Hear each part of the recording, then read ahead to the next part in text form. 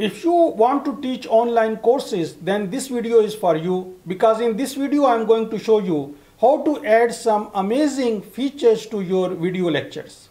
For example, how to add questions, how to add voice overlays, and we are starting right after this short break.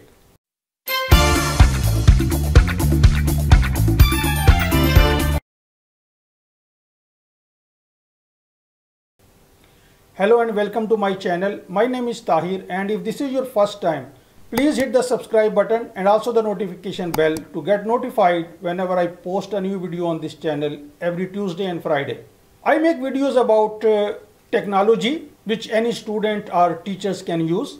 For example, learning management systems, certain applications which can enhance your video lectures and improve the student engagement. So if you are interested in creating online courses, are tutoring online, then subscribing to this channel might be useful.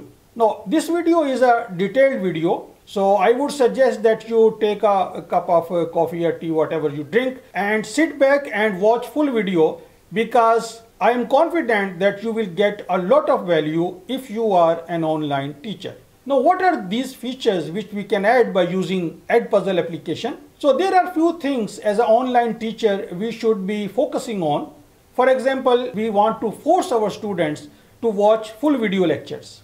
Also, we want to ask questions at a particular location. This is also very important.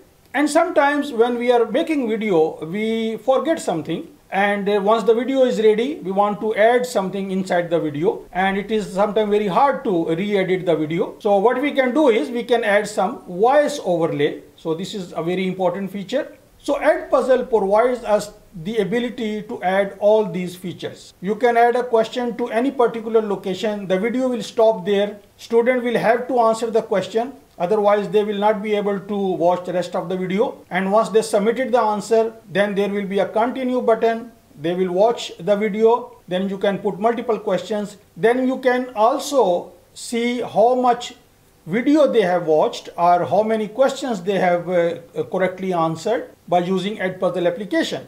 This is not a promoted video. The only reason I'm making this video is because I like this application and I think that this application is a game changer for online teachers. Now without further ado, I will jump on my computer and I will show you how you can add all these features. I will try to explain Edpuzzle features by using a teacher's account and a student account in two separate windows. I need to open incognito window for student account. So therefore I will show you one by one. Now this is my teacher's account on Edpuzzle. On the left hand side I have home which is the current location then curriculum, name of my school and my contents. If I click on my contents, here I have two types of videos. On the right hand side, these two are my own videos, while these two videos are those videos which I have added from any of these popular channels and I will show you how to add a video in a minute but as you can see that we have many channels and if I click on Edpuzzle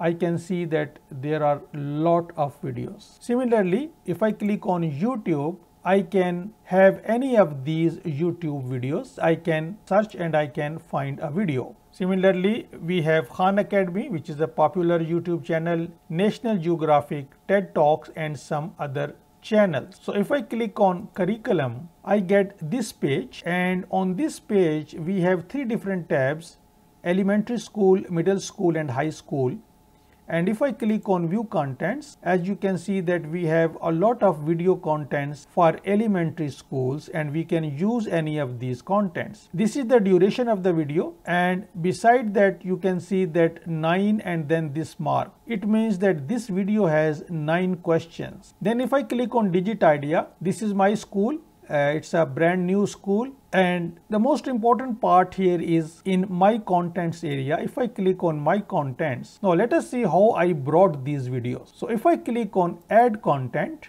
if I click on create video I can search any content. For example let's search for algebraic expressions. And if I search as you can see that I find these videos this is one of the videos which I have got from here let us assume that now I want to take this video. I click on this video and now the video is here and now I can play the video. And if I click on YouTube this will take me to the YouTube channel of this person. But if I want to take this to into my contents I click on assign here. And now I have few settings. For example if I tick this it will prevent students from keeping the video. So they have to watch the video in continuity this is to turn on closed captions and if I want to use this video as an assignment I can have a due date here so let's put some due date of 21st of March and save. Now here I have few options on the left hand side. This is the only class I have at the moment. So if I click here and then assign, it will be included to my class. So this is one way of adding a video to a class. If I want to add at a later stage, then I don't click this and I click later. So if I click later, I can come back to this area. So if I click on Edpuzzle, I will go back to my home screen and if I click on my content now, as you can see that this video is here. So let's click this video. I have many options here, assign, edit, move to a particular folder, duplicate or I can simply unselect. So let's select again. I can delete. So in order to assign this video to someone, I have to click on assign and I will see the same screen and now I click on algebra class and now I can assign this to all of my students or I can assign them manually. Currently I only have one student uh, which is myself from another account so I can assign this to this student. If new students join the class you need to add them to this assignment because I am going to assign this to a particular student and if I assign this to all then it will be assigned to all students and now I simply click assign. Now I have the option to preview the video in student mode. So let's click on the video and now if I start the video, I can turn off the voice and if I want to move this to forward, as you can see that this locked will appear here, but I can still pause the video and later on continue it. I can take this to full screen. So now I have not put any question on this video. There are no notes. So the assignment is to watch this video. So this is the assignment. As you can see here on the right hand side, it explains that watch the whole video to turn in the assignment. Now I click on Edpuzzle again to go back and this time I click on digit idea and now I have a grade book option here. If I click on grade book as you can see that my student has watched for 0 second. So this person has not spent any time on this video. Now I am in my student account and I refresh this. So now this assignment is here. So if I click on this video, it also explains to me uh, as a student because now I am login as a student that I have to watch this whole video and now I have watched this video for 1 minute and few seconds.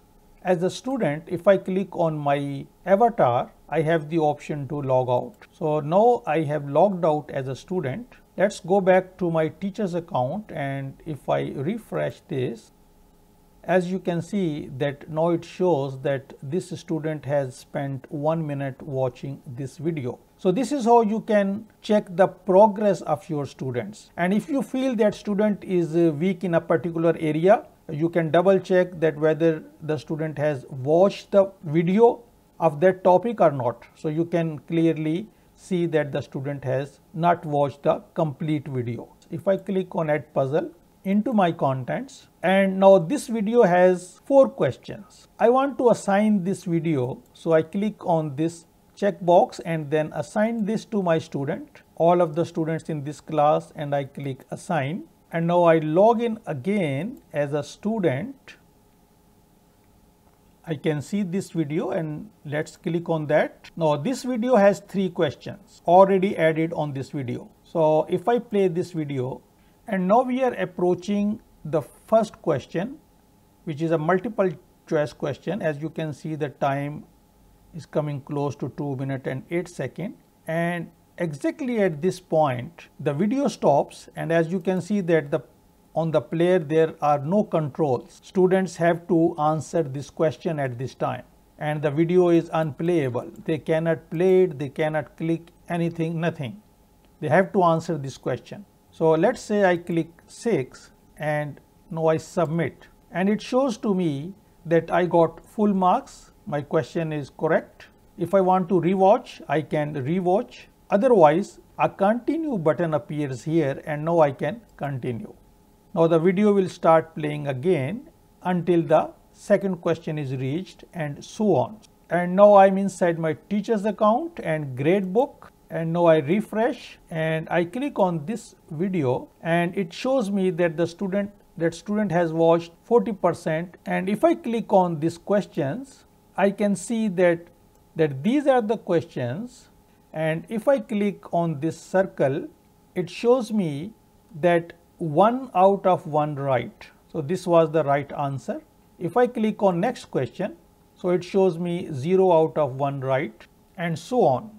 So this is how you can see the result of the questions attempted by students. Now this is the most important part of this video where you will learn how to edit a video. I am on my home screen and now I click on my contents. I select a video which uh, doesn't have any questions or anything so that we can add these features. So I click on this video and then I click on edit. And now as you can see that we have three main features here. We can cut this video cut all the irrelevant parts. We can put a voiceover where we want to add any comment or our own opinion uh, at a particular location of the video or we can add questions. So I have already shown you these questions from a student perspective and now I'm going to show you how to add these questions so let's start from cutting the video. Below the video, you can see this blue horizontal bar and there are two white uh, vertical bars. So you can drag this. Before we cut, please note the duration of this video. This video is 7 minutes and 13 seconds. And if I want to cut the beginning and end of this video, I can simply drag these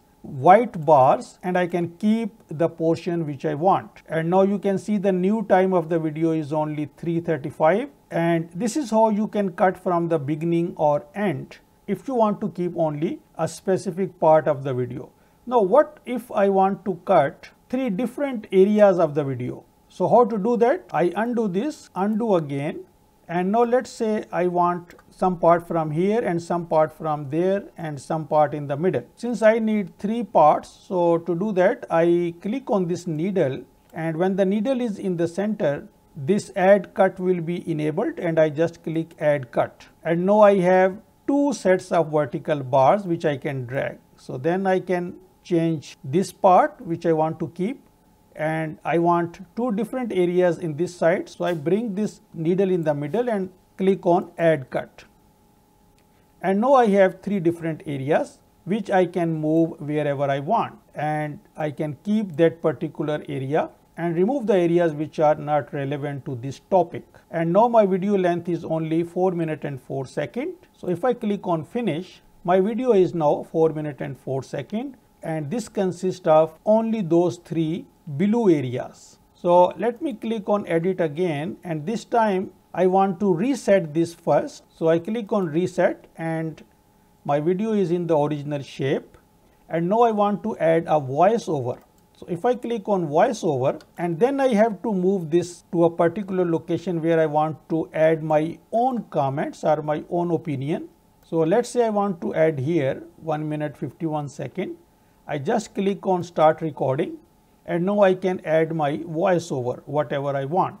So this is my voiceover and then I say stop recording and now my voiceover has been added which is uh, just 11 second long and which starts at 1 minute and 51 second. So if I want I can listen to this and if I want to delete this I can simply click on delete and it will be deleted. So this is how you add voiceover now in order to add questions, click on questions and now either you can add a multiple choice question, open ended question where students will get some space to write down their answers or you can also add a note. So first you select where you want to add the question. So let's say I want to add my question at this location. Now I click on multiple choice question and now I type my questions and then the correct answer and then the wrong answer. For example, which plane is this?